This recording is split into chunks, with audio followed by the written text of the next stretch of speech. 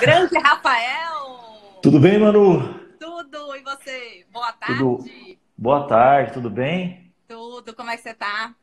Tô ótimo, você deixa eu aumentar meu som aqui. Tudo bem? Tudo, tudo bem. Melhor agora com você aqui online. sou eu que agradeço aí poder contribuir né, com a comunidade aí de SDRs, contribuir aí com, com a tua audiência para a gente falar um pouquinho sobre essa profissão tão interessante, né, tão, tão atuante que é o profissional de, de prospecção, né, um, esse, esse famoso SDR, essas siglas aí que o pessoal acha que é de comer, né, tem nome de, tem nome de, de robô, né, nome de Star Wars aí, e falar um pouquinho sobre home office também. Estou bem feliz aqui de participar. Ah, obrigada. Eu vou dar uma introdução, vou esperar só um pouquinho, porque são cinco em ponto, a gente foi britânico, né? Uhum. E aí, só para ver que o pessoal entrar um pouquinho.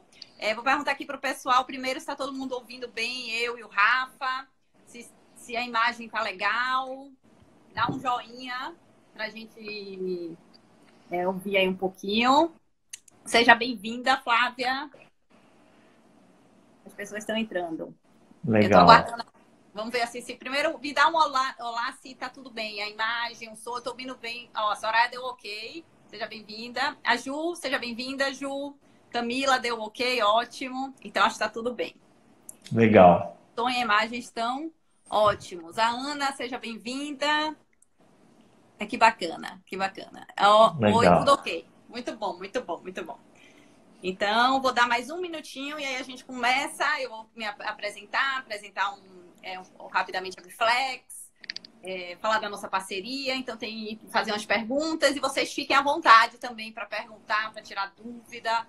É, o objetivo Legal. é gerar conteúdo. É, como é que se diz? Acho que nesse momento, quanto mais a gente ouvir as pessoas, trocar ideia, compartilhar, colaborar, né? É uma palavra em alta agora, colaboração, né?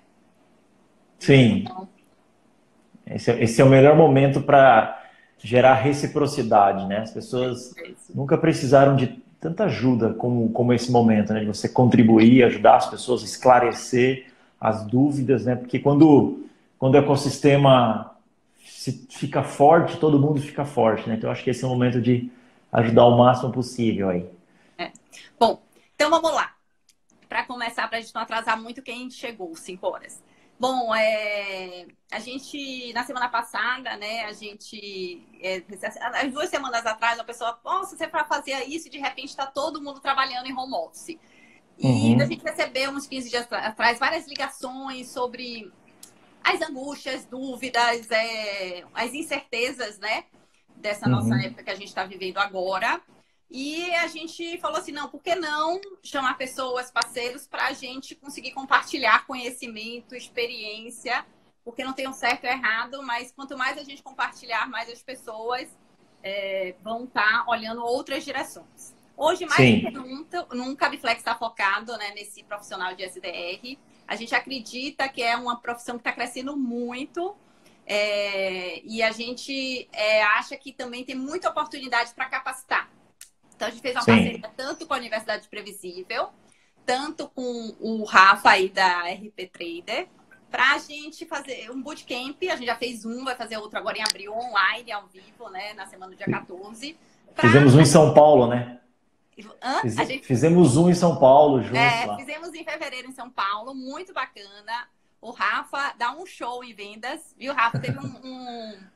Passei em um grupo, não sei se a pessoa está aqui, é, sobre o nosso bootcamp. Aí falo, nossa, o Rafa é fera em vendas.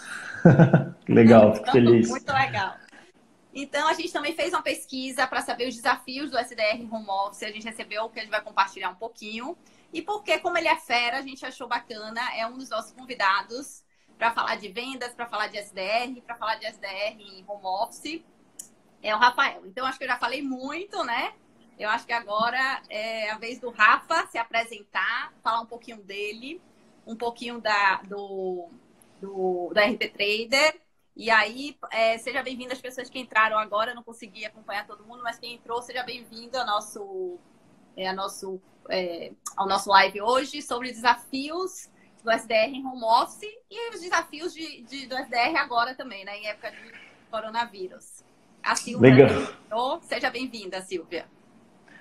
Legal, Manu. Bom, obrigado aí pelo convite. É sempre uma oportunidade incrível, né, de falar um pouquinho sobre aquilo que eu amo fazer, que é vendas, né? É a minha vida. Isso eu costumo dizer que trabalhar com vendas é um estilo de vida, né? Assim como empreender também é um estilo de vida. Ontem eu, eu a minha esposa, eu falei para minha esposa que eu tinha uma reunião hoje às 19, né? E aí ela me perguntou assim, ela falou: "Poxa, mas tem que fazer às 19? Não tem um horário livre para fazer durante o dia a reunião?" Eu falei: "Não, não tem. Mas por que, que tem que ser às 19?" Falei, porque eu sou empreendedor 24 horas, assim como eu sou marido 24 horas, assim como eu sou filho 24 horas. Não tem como desconectar uh, o que você é, né? Então você, você, é você simplesmente você é. Então falar para a sua audiência, falar sobre um assunto que, que é aquilo que eu sou apaixonado, né? Minha empresa trabalha com isso, eu tenho ajudado as empresas a fazer isso, então é uma honra participar aqui. Vou falar rapidinho quem eu sou. Eu sou Rafael Mendes, sou CEO da RP Trader. A RP Trader é uma empresa de terceirização de prospecção e vendas, B2B. Nosso mercado é 100% o mercado B2B, onde a gente utiliza várias metodologias do Vale do Silício, mas a metodologia principal que a gente utiliza é a receita previsível.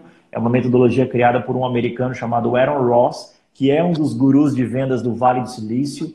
Hoje, a RP Trader faz parte do grupo Receita Previsível. Opa! Fica aqui, ó, gente. Quem não Legal. leu ainda, ó, pode comprar, ler, vale muito a pena, ó. Muito, muito. É, a gente acabou de completar uma década, né, o lançamento do livro, assim.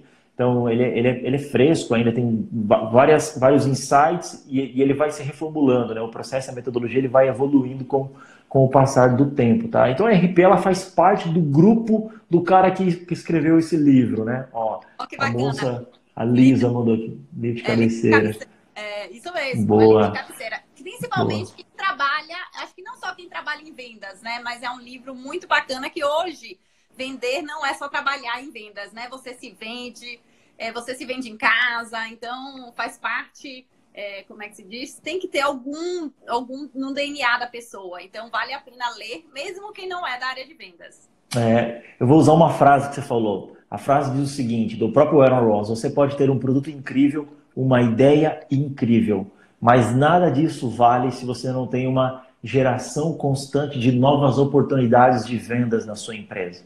Então não adianta nada você ter uma empresa maravilhosa, ter um produto incrível se você não faz o que? Vendas. E vendas é o motor de aceleração de toda empresa. Tudo acontece depois de quando você vende, né? Então assim, por que as empresas estão em pânico e histeria nesse momento? Porque elas pararam de vender afinal não tem ninguém comprando, né? Então a gente quer falar um pouquinho hoje sobre como ajudar a galera a vender nesse momento de adversidade. Então, finalizando, a RP Trader, ela faz parte do grupo Receita Previsível aqui no Brasil. A gente utiliza esse método, a gente utiliza esse livro para terceirizar a área de prospecção das empresas. Então, você falou de SDR, aqui nos fundos, né? A gente tem. O nosso time não está aqui, está todo mundo home office, tá? Mas a gente tem uma estrutura né, gigante aqui para uma grande quantidade de SDRs que ajudam os nossos clientes a vender mais. Ah, bacana. A Paty falou assim: comecei a ler. É sensacional. É, então, é. É, vale a pena quem ainda não leu adquirir o Receita Previsível. Então, Legal. Rafa, é, eu acho que vale a pena, então, você falou um pouquinho de você, né? essa, essa profissão SDR, né? Essa letrinha, essa sopa de letrinhas, que para quem não conhece, também as pessoas chamam de analista de pré-vendas, né? É, você contar um pouquinho o que é, por que é importante. É, acho que você tem aí um, um exército né, de SDRs. Tem, então, tem. É, então, conta um pouquinho pra gente o que é. Acho que vale a pena falar um pouquinho para as pessoas aqui. É, eu acho que, assim, só para avisar, eu não, eu não tô na praia, tá? Com essa luz aqui amarela. Tá? É a luz que, que tá, tá bem forte aqui. Curitiba não tem praia, então, ó, olha o fundo lá, o céu tá meio cinza. Então, a gente, eu não tô na praia, a luz aqui da minha sala, tá? Não, Mas, dá para ver que você tá na sala e... E o Rafa fica em Curitiba, tá? Não sei pra quem não sabe, o Rafa tá em Curitiba. Vocês têm alguém de Curitiba aí? Depois coloca aqui se você é de São Paulo, de Curitiba, no Rio, pra gente saber de onde que você é. E acho que é tá legal tá falar se você é de vendas ou não, aqui pro público, só pra gente ver quem que tá aqui na nossa acompanhando. Legal. Vamos lá. É, vamos falar um pouquinho sobre então sobre a profissão de SDR, né? Essa, essa profissão que o LinkedIn listou e aí nas 15 profissões mais procuradas em 2020, né? Que está em crescimento, o SDR ficou em quinto lugar. É legal olhar isso, que as, as quatro primeiras é, posições são profissões da área de tecnologia, e aí você tem uma profissão de vendas em quinto lugar, né, entre as profissões. Você pode me corrigir, por favor, tá? tá é, Manu, tá é, entre, é, na profissão que é mais procurada aí. Mas basicamente ela, ela, ela vem, ela surge, né, com um advento daqui do, do, do processo desenvolvido pelo Aaron Ross, quando ele implementou isso na Salesforce, né? É a, é a famosa cabeça de um engenheiro, né? Um, um profissional que pensa processamento, né? entrada, processamento e saída. E o que, que eu gosto muito de olhar para essa profissão especificamente? Qual é a função dela dentro de um, de um ecossistema de vendas, né? dentro de uma máquina de vendas especificamente? O que, que, o que, que a gente entende? Né? A gente entende que antigamente antes dos 10 anos que completou agora a receita previsível, o vendedor tinha uma característica, né? o vendedor ele fazia tudo, ele prospectava, ele vendia, ele fazia o pós-venda, ele fazia todo o processo de relacionamento com o cliente, com o cliente né? esse processo de sucesso com o cliente, e o que acontecia? Ele assobiava, chupava cana, tinha que cobrar escanteio, tinha que marcar gol. Então ele perdia tempo precioso de vender efetivamente que é o objetivo de um vendedor especificamente. E o que, que o Aaron entendeu? Ele entendeu o seguinte, que para ter um processo previsível, além de ter uma geração constante de leads, né, de novas oportunidades dentro do funil de vendas dele, ele precisava criar um modelo de especialização de time dentro da, da, da experiência que ele tinha na Salesforce. E o que, que ele entendeu? Ele entendeu o seguinte, que um vendedor, assim como um atacante, no que, que um atacante é bom? Um atacante é muito bom em marcar gols. Um atacante é péssimo em defender, um atacante é péssimo em armar, ou até às vezes consegue fazer isso, mas não faz isso com excelência como um outro membro do time faz. O que, que ele entendeu? Ele entendeu que esse modelo de, de departamentalizar, né, de criar novas funções específicas, vou tirar a palavra de departamentalizar, criar funções dentro é, de uma área de vendas, provocaria essa previsibilidade. E aí o grande segredo estaria no sucesso DR,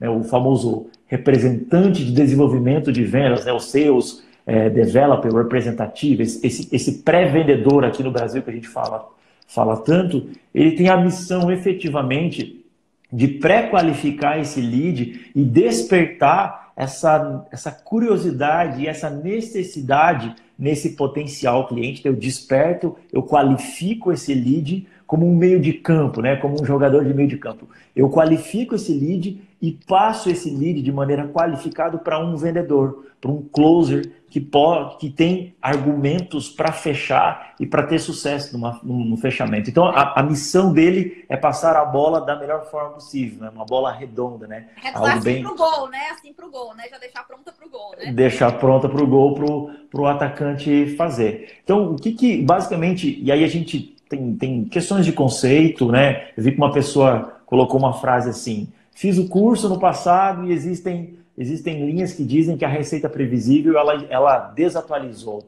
Bom, eu não sei se ela desatualizou. Para mim, ela evoluiu. Ela nasceu há 10 anos atrás falando que o seu ponto de conexão com o cliente era o e-mail. Hoje, as pessoas utilizam a receita previsível usando uma cadência no LinkedIn, usando uma cadência de WhatsApp.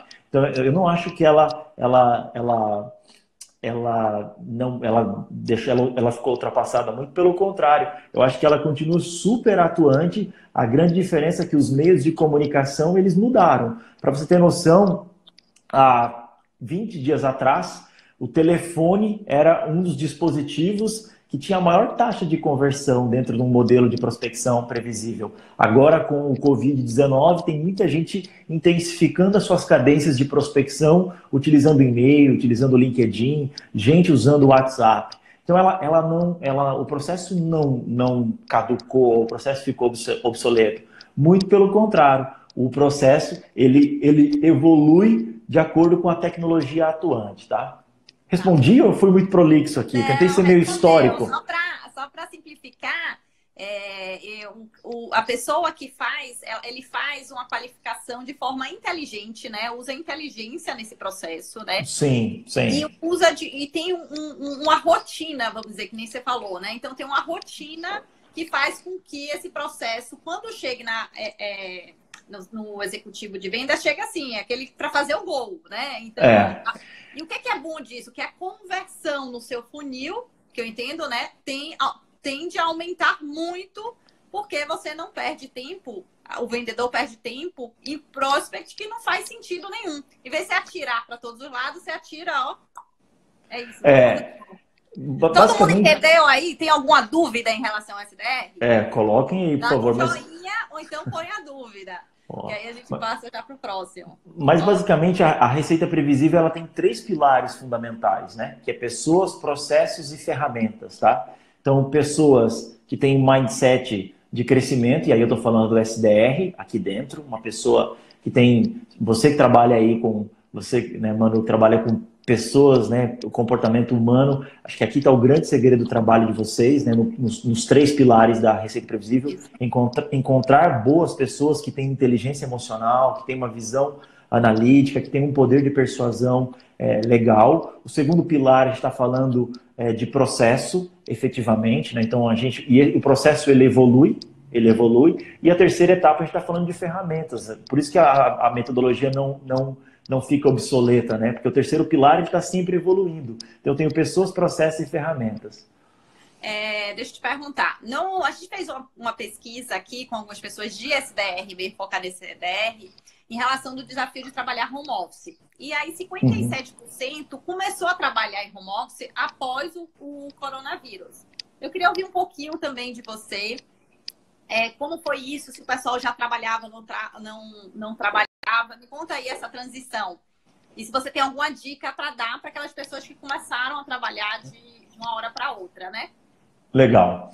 Uh, os três pilares são pessoas, processos e tecnologia. Então eu vou te falar aqui na minha empresa especificamente, né? Eu tô aqui, ó, eu moro perto da minha empresa, então eu venho trabalhar, tá, gente? Uh, o fica em casa para mim é um pulinho, porque eu, eu moro perto da minha empresa. Mas assim, seria impossível, impossível nós continuarmos prospectando se nós não tivéssemos o terceiro pilar bem estruturado, que é a tecnologia. Então, trabalhar em home, home office é fundamental. O primeiro passo para você ter é, assertividade no seu trabalho em home office é ter uma tecnologia apropriada para isso. A gente tem mais de uma dezena de clientes aqui dentro da nossa estrutura e todos os clientes estão sendo atendidos, tá? Por esse primeiro pilar. A gente tem um SaaS, a qual a gente utiliza, e esse SaaS, por exemplo, eu não tenho nenhum fio telefônico aqui.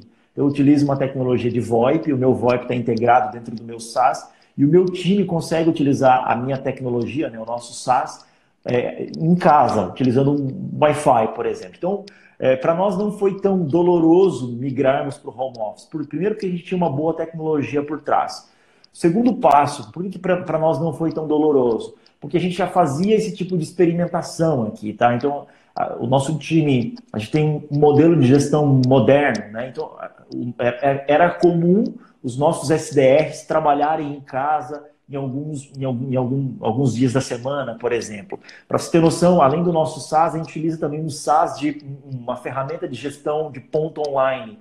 Então, o nosso time consegue bater ponto mesmo em casa e o nosso time de RH consegue gerenciar e entender se as pessoas estão sendo produtivas ou não trabalhando em casa. a nossa tecnologia também ajuda isso. Então, para nós, essa, essa virada não foi, não foi dolorosa, tá? Não foi e dolorosa a produtividade, porque... você achou que, que continua a mesma? Você, nesse sentido, que você falou que você consegue controlar a produtividade, que é uma preocupação, eu acho, das pessoas. É, a, vamos lá. E essa pergunta, é inteligente, assim, tá? É, a produtividade, ela sempre foi, sempre foi igual, tá? Em alguns momentos, ela, ela é até melhor, porque as pessoas se sentem mais confortáveis pelo fato de estar em casa. Eu acredito que são pessoas mais maduras, né? Que conseguem ser mais disciplinadas em relação a isso, tá? Só que, naturalmente, a gente teve os últimos 15 dias em que o coronavírus, né, o Covid-19, se tornou mais atuante, tá? Então, a produtividade, na verdade, ela foi duplicada. Nosso time trabalhou muito mais, mas o resultado não foi o mesmo resultado que em meses anteriores, né? Por quê? Ah, Porque a gente começou a encontrar alguns desafios. Acho que a Sandra é. perguntou aqui o que é SaaS. SaaS é software. Ah, obrigada. Peraí, deixa eu fazer. Quer... Pode falar. SaaS significa Software as, as a Service. Então, significa software como serviço. Então, ao invés de você ter, é, Sandra, o, o teu sistema instalado localmente no notebook, você tem isso na nuvem. Então, o simples fato de você ter uma conexão com a internet, você consegue acessar esse sistema na nuvem, tá? Então, isso é um SaaS. É, desculpa, eu perdi. Aqui tem algumas perguntas mesmo. Fiz, inclusive, o curso dela, mas há quem diga que... Ah, você já respondeu? Já respondi. Isso aí... Já foi, né? Isso é haters. Os haters que falam isso. é, bom, é, então, voltando aqui para o home office, outro desafio que é, as pessoas normalmente estão preparadas de SDR, é, mas como foi é, a sua experiência no sentido de engajar, né? Porque também tem a parte de gestão, de time, como engajar? Eu não sei se você tem um ritual, conta um pouquinho, que eu acho que é outro ponto, porque tem um pouco, um pouco também que a gente viu na pesquisa que eles sentem um pouco de, de falta da interação social, que é um desafio. É um desafio. É um desafio. Claro que é um desafio. Alguém que falou que usava Pipe Drive era muito bom. Ótimo. É, ótimo. É um SaaS muito legal, muito bom também. É, sobre, sobre essa interatividade, tá?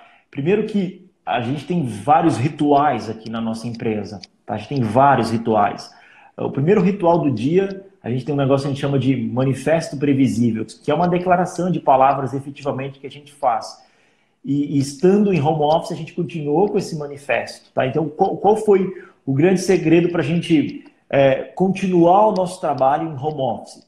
Foi manter os nossos rituais, os mesmos rituais que a gente tinha é, aqui na nossa estrutura física, a gente tem isso de maneira remota. Tá? Então, por exemplo, às oito e meia da manhã, o, o meu gestor, né, a, a pessoa responsável para gerenciar o nosso time aqui, ele faz o, o manifesto, a cada uma hora ele manda um dashboard para os nossos colaboradores, olha, você já está no, no, ranking tal, você, você já fez tantos agendamentos, você já fez tantas ligações, você já fez tantas qualificações. A gente tem um ritual antes do, do horário de almoço, que é um, um, exercício que a gente chama de dramatização, que são alguns ensaios que a gente faz com, com os nossos times de SDR. A gente continuou com esse ritual, só que de maneira é, remota. A gente tem um ritual no final do dia, que também é uma dramatização, mas ele tem uma, uma pegada mais é, institucional, onde a gente faz uma apresentação de produto para o nosso próprio time, da empresa a qual a gente está prospectando.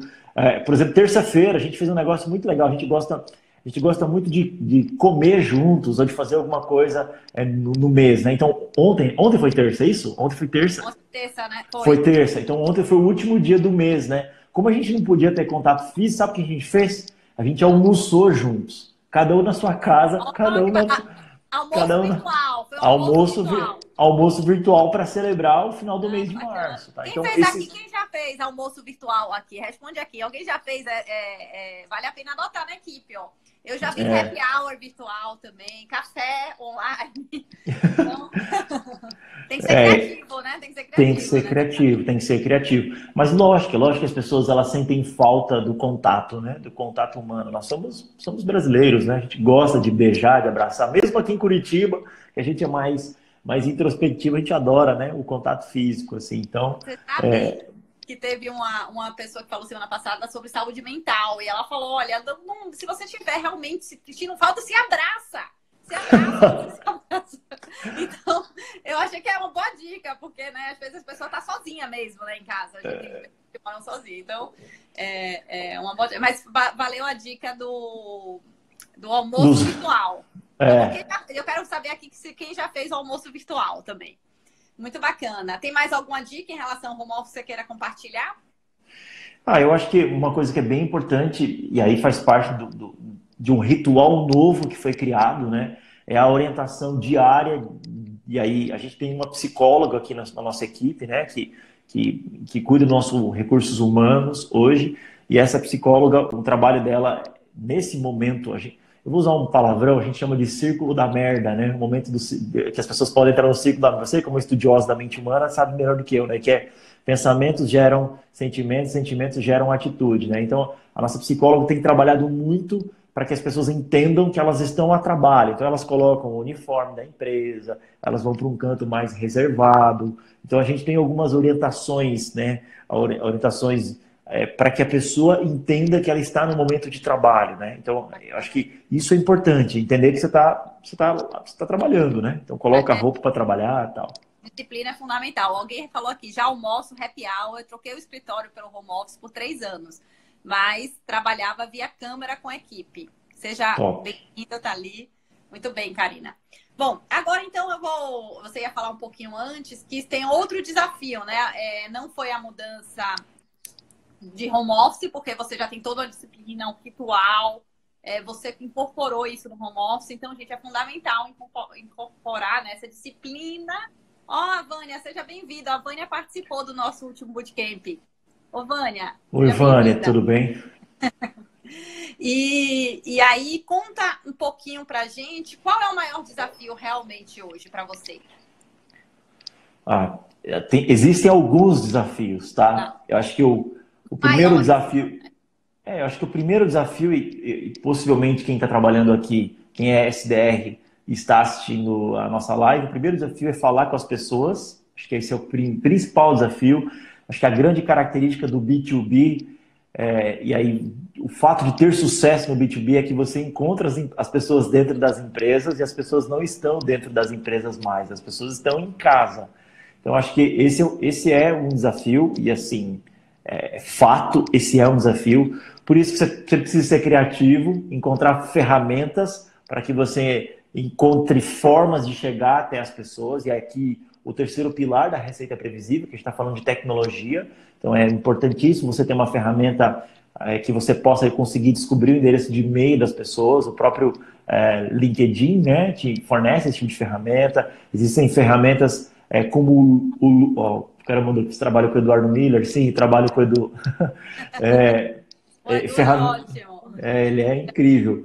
Ferramentas como o Luxa pode te ajudar a descobrir o número telefônico das, ferramentas, das pessoas, né, o número celular das pessoas para fazer esse contato. Então, acho que o grande segredo agora, o primeiro desafio é como chegar nas pessoas entendendo que elas estão em home office. Então, você tem que ser muito criativo agora, muito criativo e investir em ferramentas para te ajudar a chegar nessas pessoas. Esse é o primeiro desafio. Acho que o segundo desafio, e aí a gente estava conversando hoje de manhã, né, alinhando a pauta sobre isso. Eu acho que a gente tem controle sobre as nossas emoções, a gente tem controle sobre nós, a gente tem, não tem controle sobre aquilo que o outro pensa, né?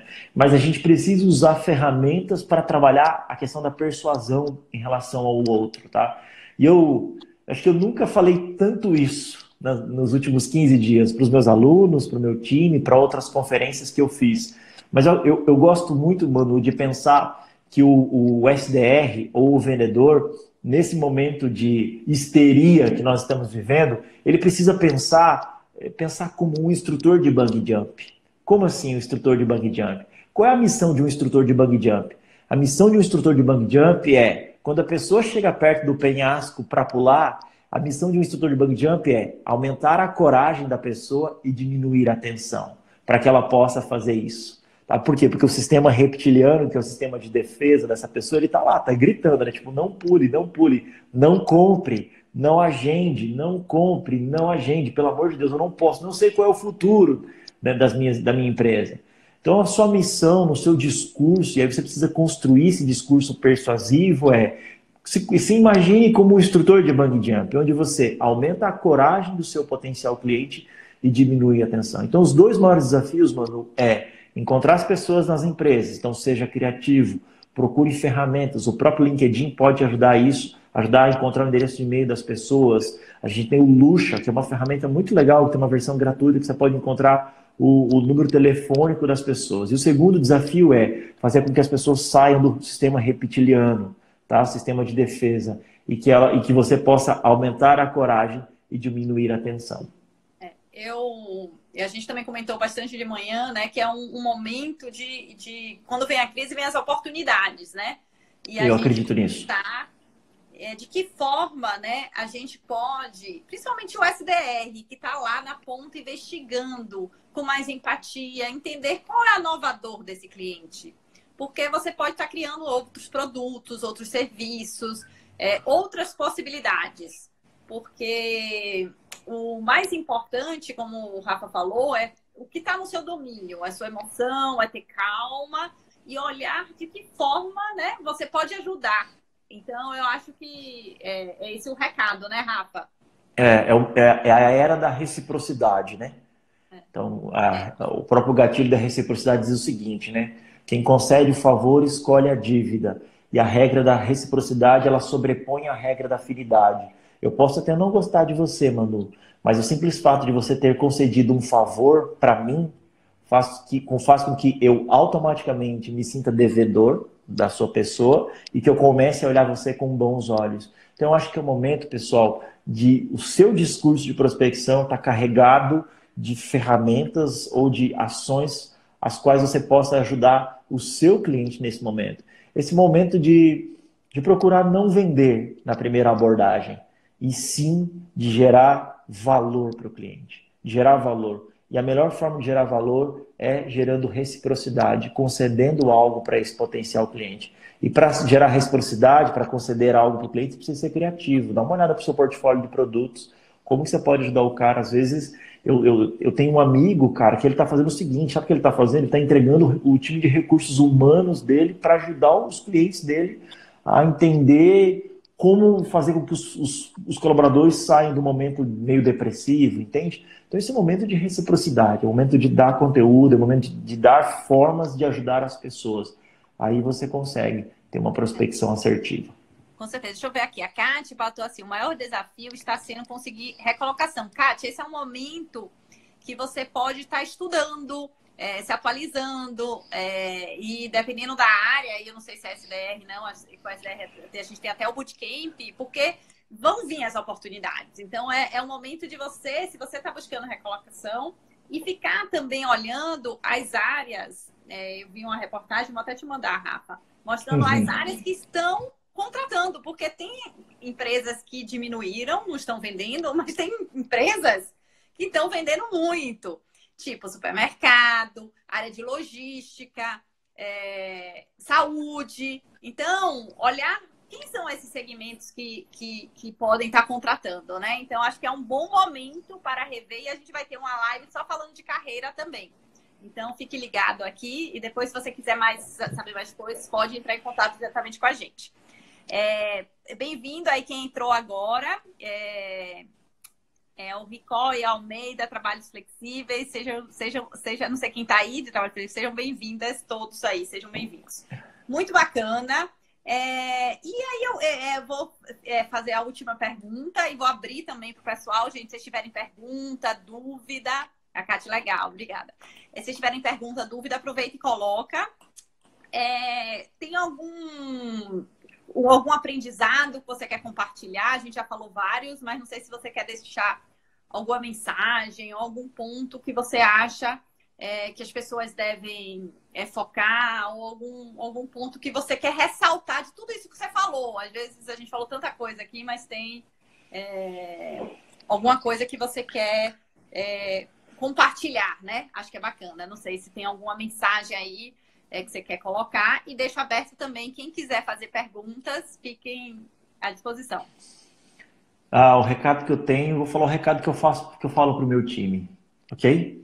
Não é um momento, não é um momento de histeria, é um momento de pensar em oportunidades, de enxergar aquilo que as pessoas não estão enxergando e como enxergar isso se eu estou desempregado, ou como enxergar isso se eu não estou agendando, ou como enxergar isso se eu não estou vendendo? Eu não sei, mas eu quero fazer um desafio para você que está nesse momento de histeria. Você me dá um, dá um minuto, Manu? Deixa eu só pegar um negócio aqui. Ah, tá bom. Nossa, tem uma surpresa aí. O Rafa tem uma surpresa. Tô curiosa aqui. É, ah, legal. Obrigada, gente. Legal. Parabéns, Flex. Obrigada a você por estar participando. É, Laura, seja bem-vinda. Tá no finalzinho, mas você chegou na hora boa do desafio do Rafa. Manu, eu vou dar um desafio para tua audiência. Tá vendo essa folha em branco aqui? Tá. O desafio que eu dou para você é: se você é empresário você está assistindo essa live, minha dica que eu te dou é: escreva 50 opções, 50 coisas, 50 situações ou 50 ações que você pode gerar de reciprocidade para os seus clientes atuais ou para os seus potenciais clientes? O que, que você pode fornecer para o seu cliente? De graça, reciprocidade. E nem sempre dar de graça é o que é um produto. Às vezes pode ser uma mentoria. Eu tô, eu tô mentoriando os meus clientes. Estou indo embora todo dia 8 horas da noite ajudando os meus clientes, tirando dúvidas de vendas para os meus clientes. Então, gerando, estou gerando reciprocidade. Então, empreendedor. Aqui, hoje, hoje também, hoje. Né, a, o Rafa aqui está é, compartilhando conteúdo, a experiência dele. Então, é, é gratidão, Sim. Rafa. Não, que isso, eu que agradeço. 50 dicas. Você é SDR, que não está conseguindo agendar, Coloque 50 formas de chegar no seu potencial cliente. Você que está desempregado, coloque 50 formas que você poderia é, fazer para conseguir um emprego ou conseguir uma nova proposta de trabalho. Não olhe para o problema, pense na solução. Nós somos seres, né? O Darwin diz isso, né? Não é o mais forte que sobressai, né? mas o mais adaptável. Esse é o momento de se adaptar, esse é o momento de ser criativo e de sair da histeria. Coloque no papel o que, que você pode fazer. 50 ideias. 50 ideias. Depois escolhe quais são as melhores na sua análise. Começa a rodar para você ver. Todo mundo está passando, é o, é o, planeta inteiro, o planeta inteiro está encontrando desafios. A Soraya Mas... bateu palma aqui. Quem vai fazer? Eu quero saber quem vai fazer o desafio do, do, do Rafa. Põe o joinha. Ou seja, é 50 ideias ou opções para gerar reciprocidade na sua situação. Seja você empreendedor, seja você líder de equipe, seja você SDR, seja você que esteja procurando um trabalho, é, seja você. A Almeida falou muito bom. Seja você. E qual é o, é, o que está te angustiando, eu acho? Amei a dica. Vou fazer o desafio. Ótimo. Ó, todo mundo vai fazer o desafio, Rafa. Se todo mundo parar de assistir o Jornal Nacional ou assistir as notícias trágicas e, parar nesse horário, escrever as 50 ideias, eu tenho certeza que vocês vão encontrar uma solução. Para de ver a desgraça. Tá aí, a gente já sabe o que está acontecendo. Não está no nosso controle. O que está no nosso controle é criar. Nós somos seres criadores. Nós, seres humanos, somos isso. Então a minha dica para vocês é criem 50 possibilidades. E aí vocês vão ver como que as coisas vão mudar isso aí, gente. Então, eu acho que essa dica super valiosa é do Rafa.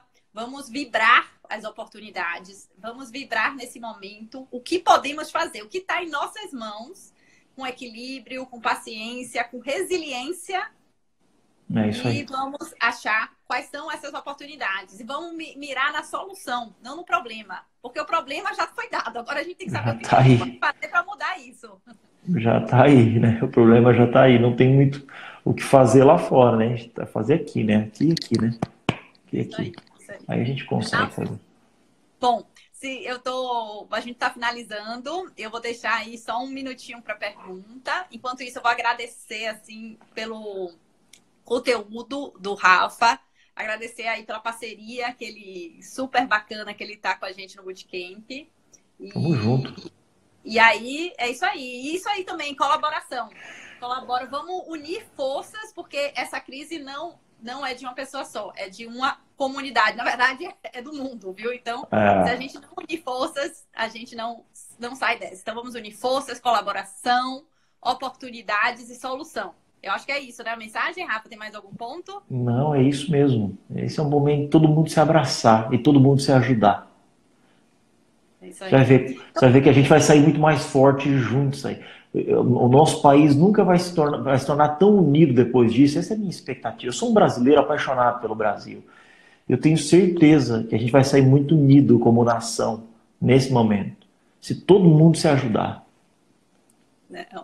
É, ó, muito obrigada. Vou assistir seus vídeos no YouTube. Eu não conhecia o Rafa. Ah, cara. É, que legal.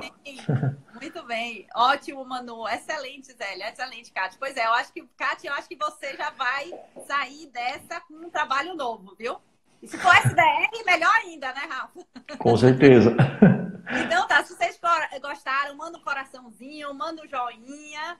A gente está se despedindo aqui. E eu, obrigada por todos vocês que te participaram, que doaram né, o seu tempo para ouvir um conteúdo bacana cheio de energia positiva, de colaboração, de foco na solução. Ótimo, então, o pessoal falando aqui. E é, qualquer dúvida, depois a gente também está disponível. E vamos juntos vencer essa. E muito obrigada, Rafa, pelas suas de dicas nada. e pelo seu desafio, viu? Foi especial de nada. Posso, posso passar meu endereço de Instagram aqui para eles? Pode. Tá, meu, meu Instagram é rafamendes.sales, né? Quer, quer, escrever aqui embaixo, Rafael? Oi, Andréia. Será que ela está entrando? Seja bem-vinda. Quer escrever? Será que você consegue? Que eu acho que é mais fácil que as pessoas anotam. Escrevo, sim. É Rafa Mendes.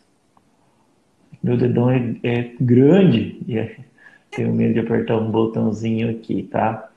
Então, esse é meu meu Instagram, rafamendes.seios. Lá eu tenho um conteúdo incrível sobre vendas, sobre prospecção. Tem um canal do YouTube que pode ajudar você também a vender mais. Obrigado, Manu. Tamo junto. Obrigada a você. Tamo junto.